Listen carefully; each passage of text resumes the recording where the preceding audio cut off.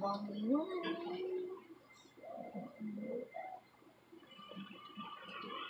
why did you start it?